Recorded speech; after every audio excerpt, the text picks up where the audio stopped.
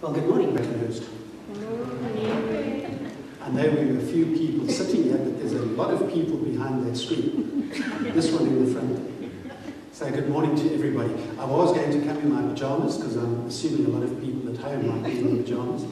But Wendy said to me, no way, can you go and stand there in your pajamas?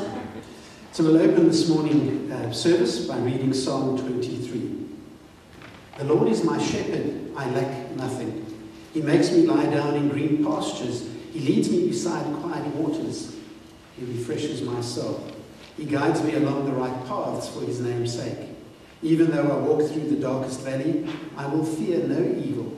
For you are with me, your rod and your staff, they comfort me. You prepare a table before me in the presence of my enemies.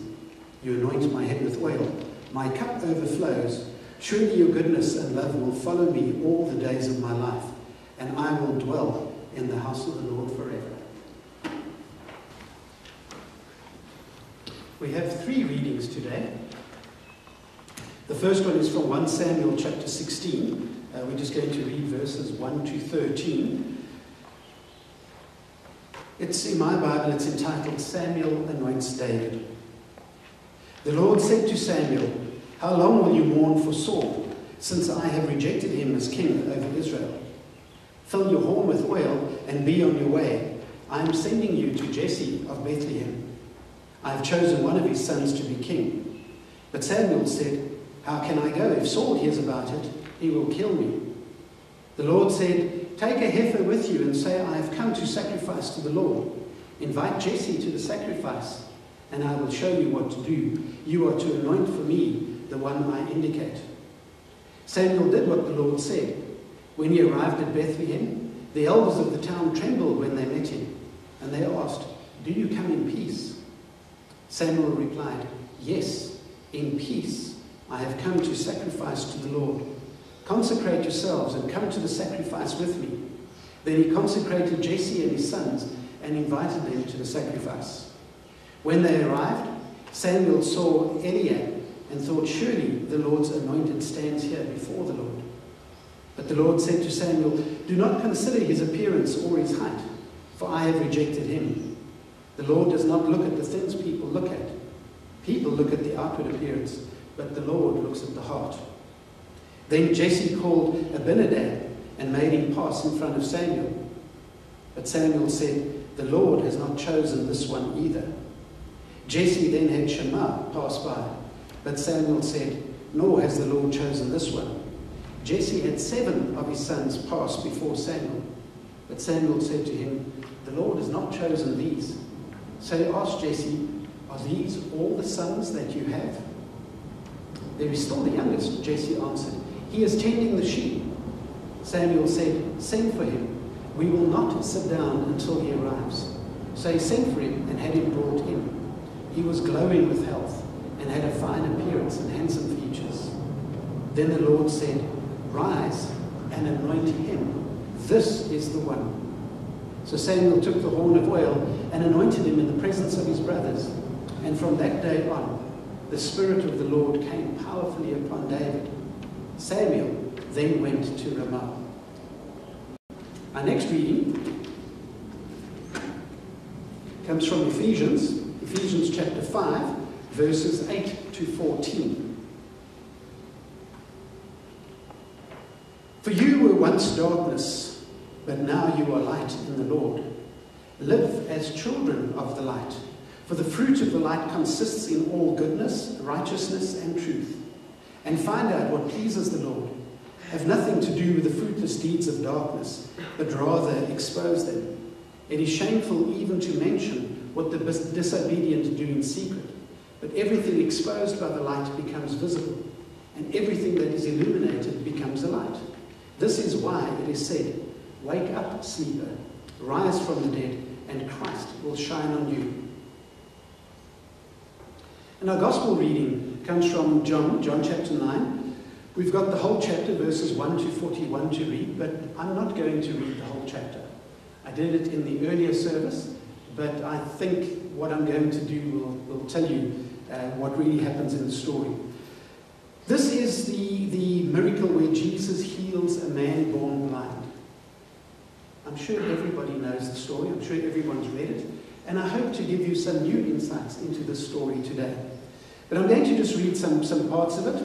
Um, as he went along, he saw a man blind from birth. Now, the Bible doesn't say anything that is irrelevant.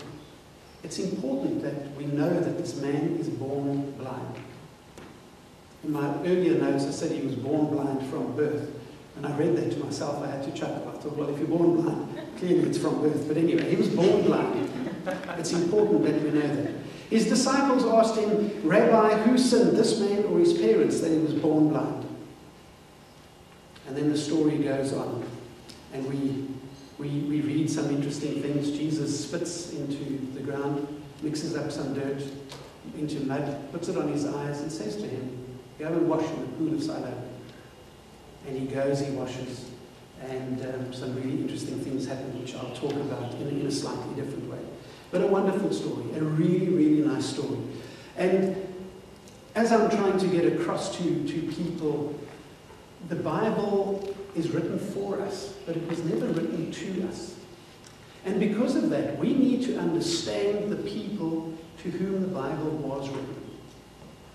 We, we know so much about what's happening in our own culture around us. Things make sense to us.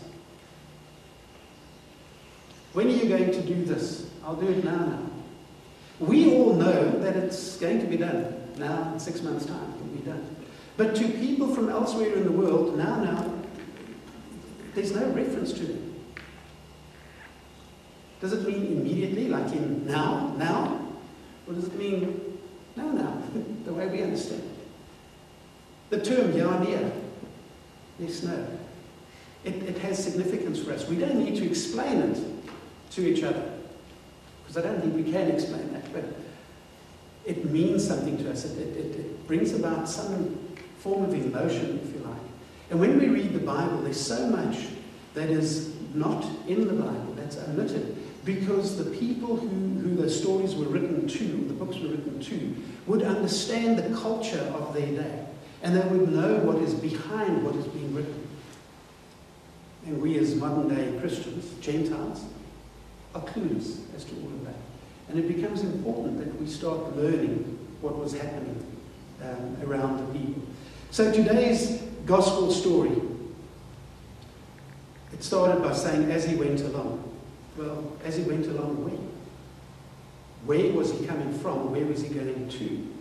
When did this happen? These are important things for us to, to, to know because without that, it's just a story placed in time. It, it means nothing. He was in Jerusalem. Why was he in Jerusalem?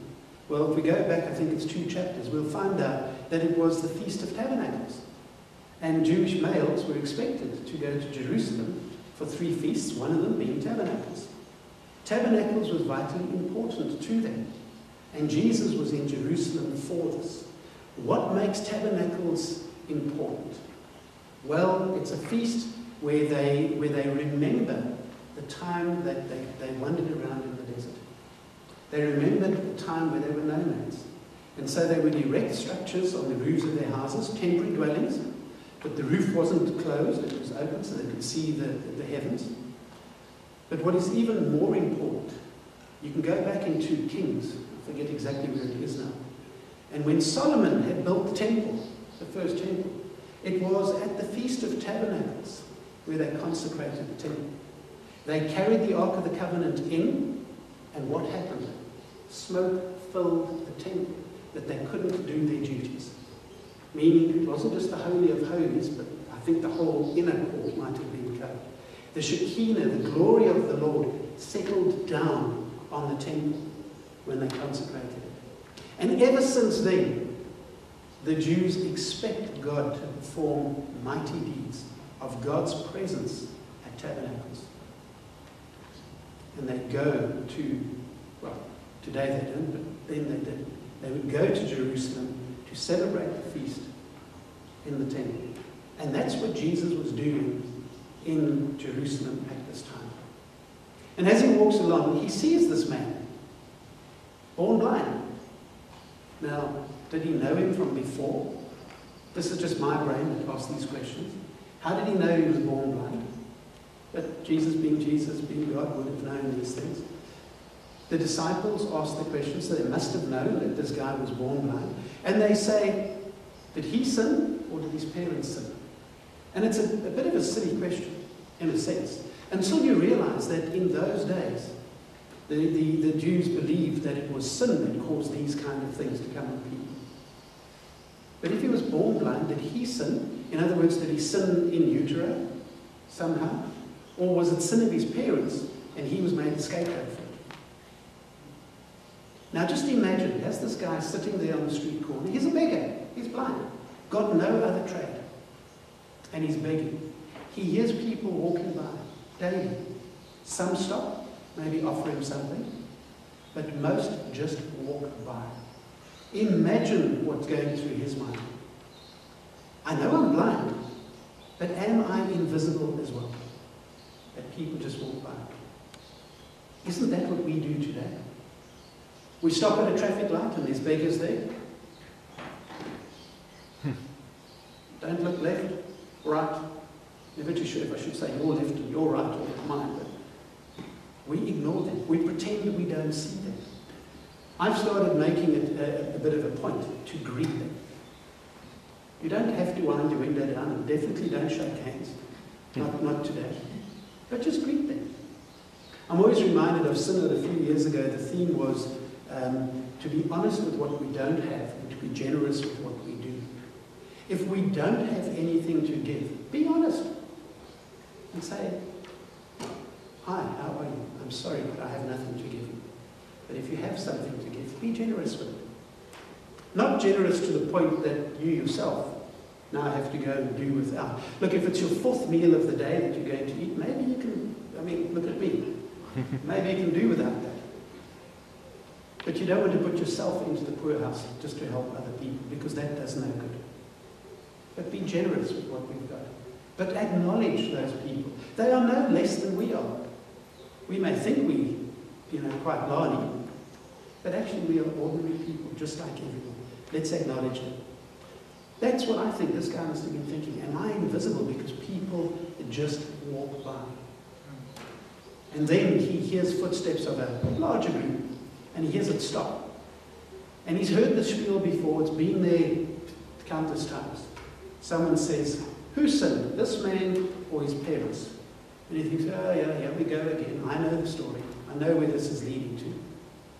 But then Jesus says something which is different. He says, Neither he or his parents, or nor his parents sinned. This happens so that we see God's glory. That's really what comes about. Do you notice that the man doesn't ask to be healed? He doesn't ask that.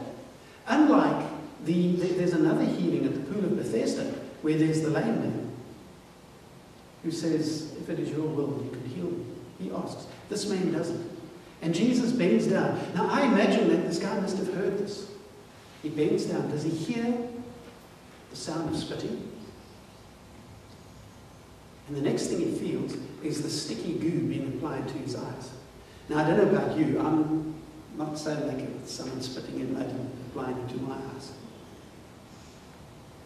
But he feels this. Now, what can he do? He's blind. He's just kind of sitting there. There were two pools, Bethesda and Siloam. And Siloam was a holy place. It was fed by a spring, so it was living water that was coming in. And Bethesda was, uh, I believe, filled with rainwater, so it was also living water. But there's a fantastic story that goes along with Bethesda and um, the, the, the, Greek god um, Asclepius that goes with that. And um, I don't have time to talk about it, but if you want to do a bit of research, go and have a look. Or maybe you'd like to attend a Bible study where we do talk about these things. But Siloam was a holy place. You see, one of the things that would happen during the Feast of Tabernacles is daily the priests would go down and take a jug of water out of the pool of Siloam, come back up to the temple, and um, there was a whole ritual that went on with this living water in the temple. Before our reading, a couple of chapters before, Jesus stands and he says to people, I am the water of life. I am the living water. Imagine the, the Jews of the time, knowing this ritual that's happening in the temple, knowing what is going on there. And yet this guy is saying, He's the living water. Anyone who thirsts, come to me. What was also happening was every evening they would light these giant, um, the word that was first given to me was menorahs, but it was, uh, the pictures that I've seen, artists' pictures, was uh, like a long lampstand, if you like. It, looks to be about four meters tall, or maybe even taller. And they would have huge fires burning in these things through the night. And it was said that the, the light coming, uh, there were four of them, the light coming off this was so bright that not a single courtyard in all, all of Jerusalem wasn't illuminated. And Jesus' words in this story go on to say, I am the light of the world. That's the backdrop, is these giant uh, if you like, with all this light. People from, the, from that time would say that it was a spectacle to behold. You could see it from anywhere in the city. And here Jesus says, I am the light of the world. First he said, I'm living water, and now I'm the light of the world. If you knew that before, wonderful. If you didn't, I hope the scale has fallen off your eyes and you just see the deeper meaning in the story. Jesus says to him, Get up, go and wash off in the pool of Siloam. He gets up and he goes. Or did somebody have to help him? We don't know. Practically, I think somebody led him to the pool. I then have to think to myself, did he get into the pool and, and, and fully immerse himself in it? Because it's possible it was what the Jews would call a mikveh, where they would do ritual cleansing of themselves before going into the temple. Or did he go and kneel on the side? I mean, being blind from birth, did he, did he know how to swim with the filling? Practical things. I like the idea that he actually got into the pool, perhaps sat on a step or something, but immersed himself in the water and washed this gooey stuff off his eyes. And I wonder what was going through his mind at the time. I also like to think that when it was applied to his eyes, he may have smelt the dirt. And as he was cleaning it, the miracle that occurred when he could see did he tie it up to the fact that dirt, dust, was put onto my eyes and tied up to the dust that God created humanity out of? Did he tie up his healing with the creation? I wonder if, if he saw that. I'm hoping he did because he'd be a lot better than, than I am. And as he washed the gooey stuff off his eyes, did he see light immediately? Did it take time for this to settle in? Was, was, was his brain hurt by what he saw? We don't know how old he was, but he was a man, so he must have been well on, well, not well on years, but not a child. What went through his mind as he saw these things? I don't think it made a lot of sense. He, he had no idea who healed him. No idea. He never saw Jesus' face. He knew something miraculous had happened. He saw people. He saw colors. He saw light. Now, Jesus said, I'm the light of the world. He saw light. Imagine what was going through his mind. And as he, I imagine, stumbled back to where people were, and he was looking around. his eyes must have been wide open, trying to take in all of the stuff. Or maybe they were squinted, I, I don't know, but wide open just fits my story so much nicer. And people would have looked at him and said, Is this the blind guy, the blind beggar? But he can see. And our first reaction is, oh no, that can't be true. It must be somebody who just looks like him. And when they spoke to him, he said, It is me. I am the one who was blind. And they say, How did this happen? And he would tell them the story about the mud and the spit and washing his face. And now he can see. And they said, Well, where is the man that healed you? And he said, Well, to be honest, I didn't get a good look at him. I think that's funny. The blind guy didn't get a good look at him. but um, I didn't get a good look at him. having been blind all the time. So you'll have to forgive me. I, I just don't know who he is where he is. The crowds thought that the religious authorities may know, so they took him to the religious authorities. They took him to, to those who were in charge, the Pharisees. And the Pharisees interrogated him. Now imagine this. This guy, a miracle has occurred. He can now see. He is seeing amazing things. He can see his hands. He's looking at people. He is seeing wondrous things, beauty all around him. And here the interrogation comes. Bang! Who did this? How did it happen? Why this? Why that?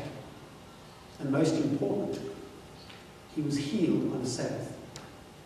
Now, a construction worker who had been mixing, well, they wouldn't have had cement in those days, but let's say mixing mud to stick bricks together or whatever, that was work.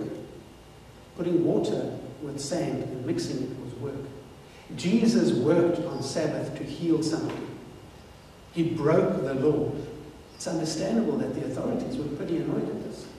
Because if we're going to run around breaking the law, how can we be a holy people to our God? Yet they missed the point. Holy work was being done on the Sabbath. But the law became more important than the end result.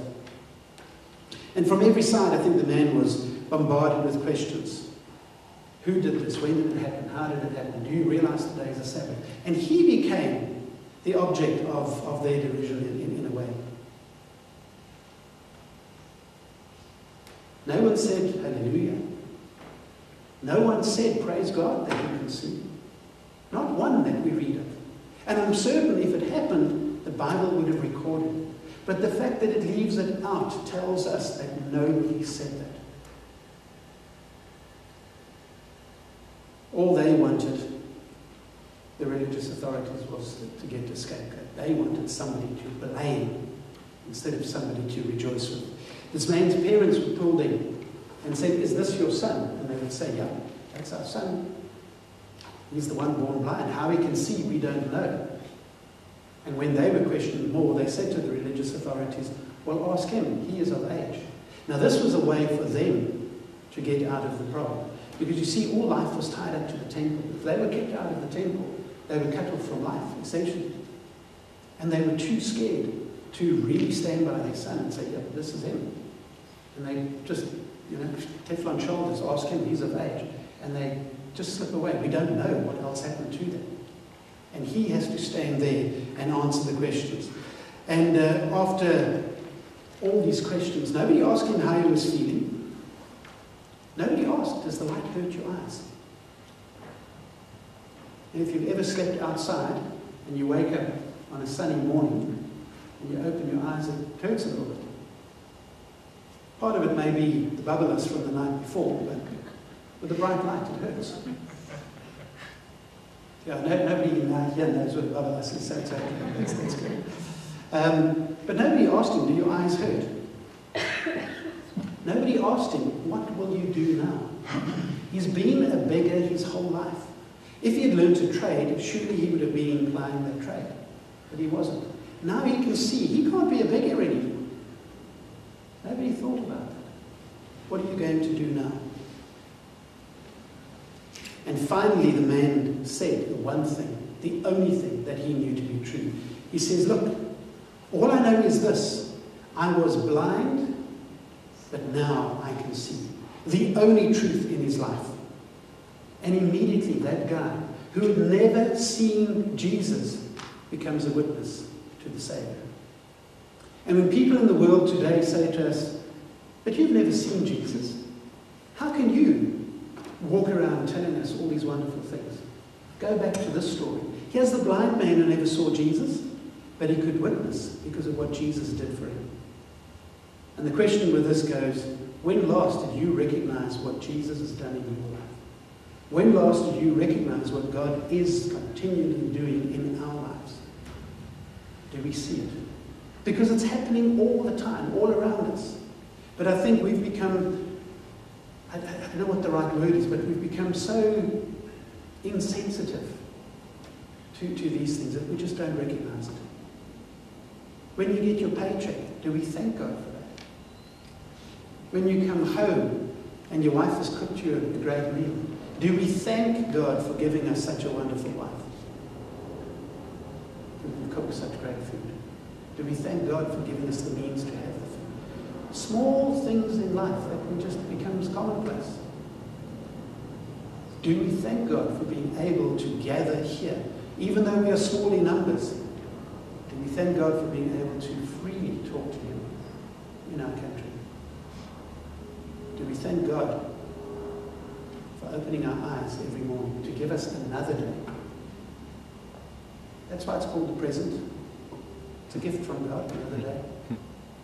We miss these things. We just carry on with life. But that once blind man became the witness to a Savior he had never seen. Working uh, out his own faith, in, in, I mean, these things must have been running through his mind what was going on. He had to figure out what life would mean for him not being blind anymore. He was no longer just a part of the landscape because he could see. He wasn't just a landmark in the city anymore. You, you know how it would have gone? Um, somebody new to the city comes along and says, I want to go to this market or that market. And they say, oh, that's easy. Walk down this street, on the corner, there's the blind man, turn right, three blocks down the market's on your left. He became a landmark. No longer will he be that because he can now see. The religious authorities never seemed bothered by his struggle as a blind man. Because if they did, why weren't they helping him? Why did they allow him to sit in that corner to beg and to get scraps from people? Why did they allow people, and they themselves even, walk past without acknowledging this man? Never bothered. Never ever bothered. I think he was simply to them a sign, a very real sign in their community. What happens when people don't follow the rules? Being born blind is, a, is, is the, the, the root cause is sin. Sin in your life or sin in your parents' lives. You didn't follow the rules, so therefore that's what you've got. That's what people thought in those days. But now he was healed. People were forced to recognize that he could see an inconvenient truth that here this person who we've all thought was a sinner, and that's why he was in that condition, can now see. Now what? And I can just imagine people standing around saying, Well, we've all called him a sinner. And look at this. Now what? It takes a very big person, very big person, admit that they were wrong and go and find the truth. We don't read it anywhere that this happened. I think the, the, the religious rulers were, were so angry at what had happened. I think they were so embarrassed by what had happened that they had no option but to chase him out of the synagogue, which they did. He was no longer welcome. Get out. Wonderful, wonderful Christian behavior. Get out. It happens today still. He's making them uncomfortable. He's presenting a truth to them that they don't want to see. And go out there, go and sit in the street corner because we can walk past you. But when you come in here, that's all we can see.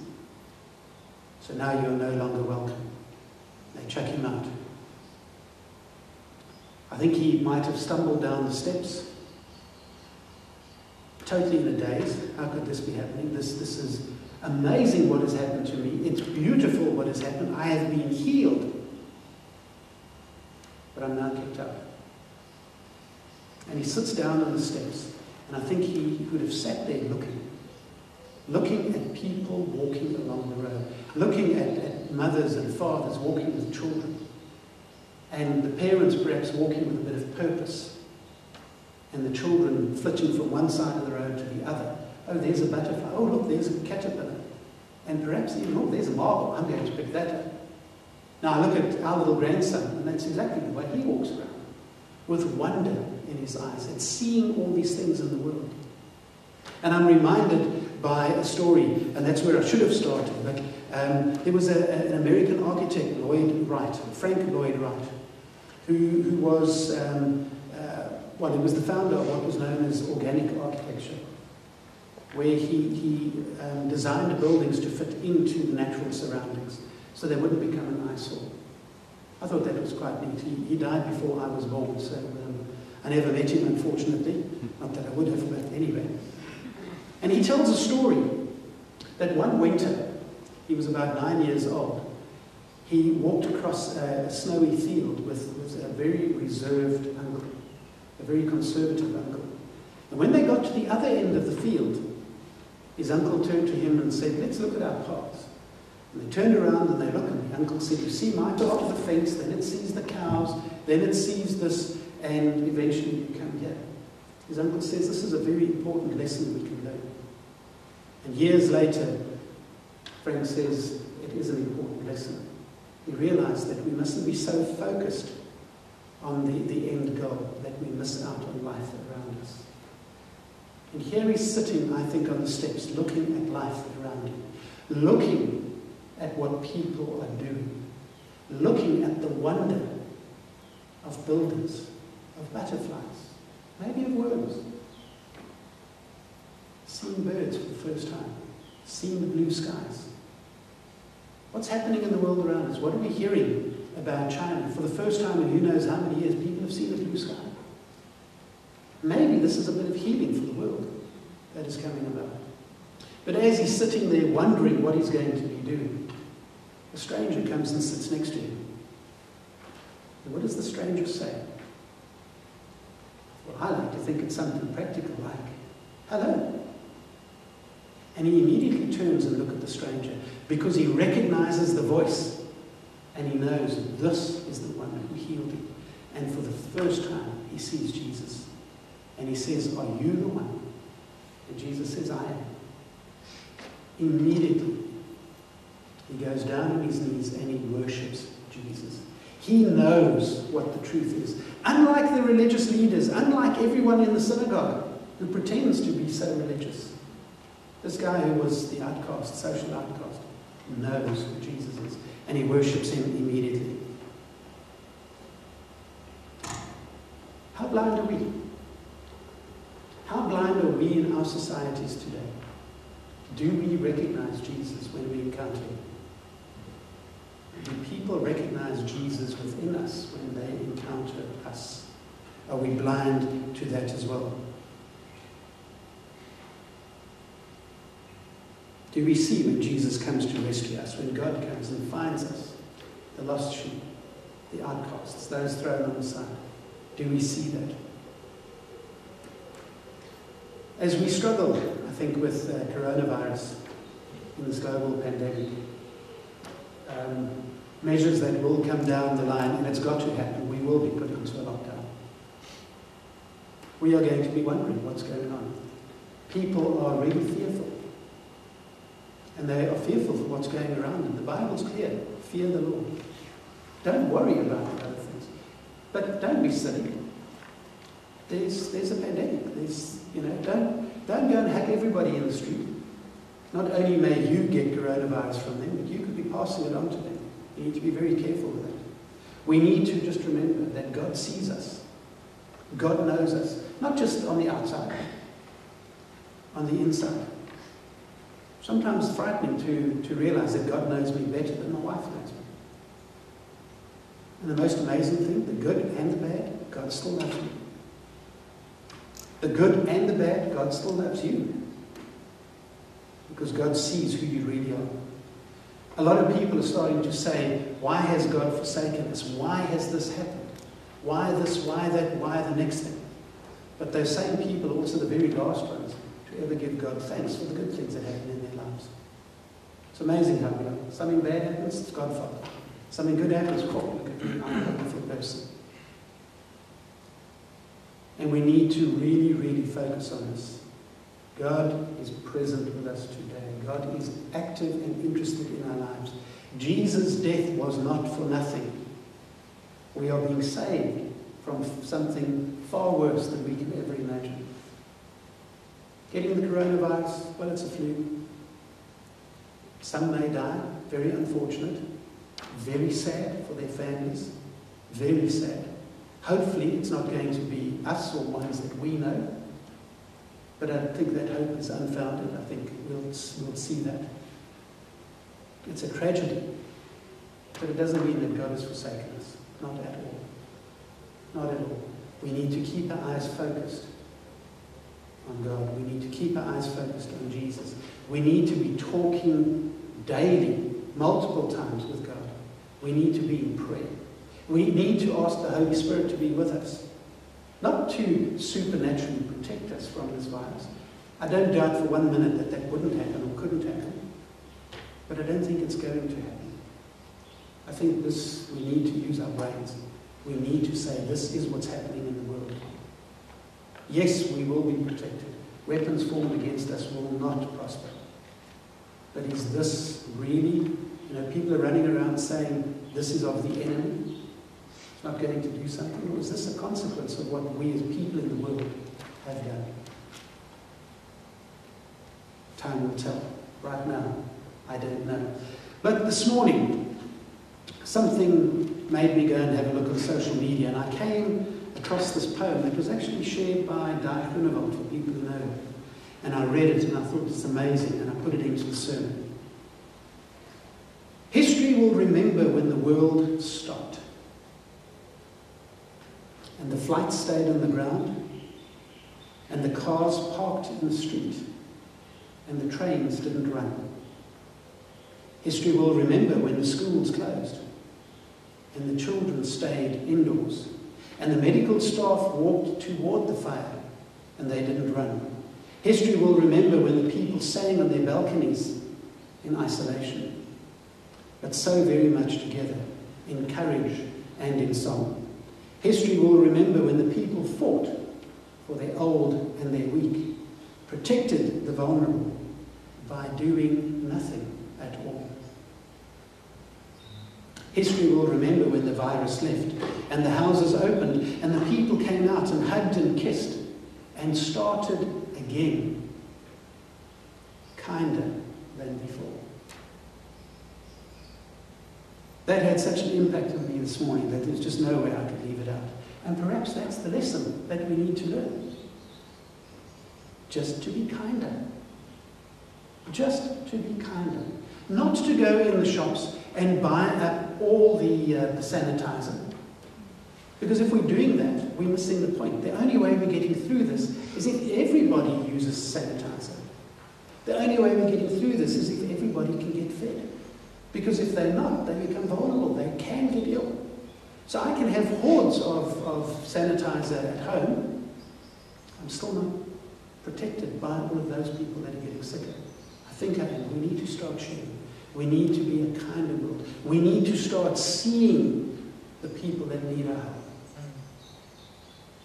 This selfishness that is, is, is, is a global epidemic, pandemic, I think it's something we're not even seeing, needs to end. It has to end. And I think this is what is going to put us in that place where we recognize we are in this together. We have to work together. And just one act of kindness can go such a long way. So don't walk past that landmark beggar Go and find out about them. Go and ask. It doesn't also mean that you've just got to give away everything, because there's a lot of opportunists out there just taking whatever they can. We've all been given a brain. Use it. Think about it. And as we read the scriptures, when we do go into lockdown, and I, I do suggest you read the scriptures, read it and start questioning. Start asking. The internet hopefully will still be alive. Lots of information on Google. Read it with an open mind. Not all of it is true and correct. Read multiple things and start forming new ideas. Start learning about what the scriptures really mean and what they really say. Figure out. Go and, and there's, there's a wealth of information on what cultures in, in that time was really like. Go and see what it is all about. Let us pray.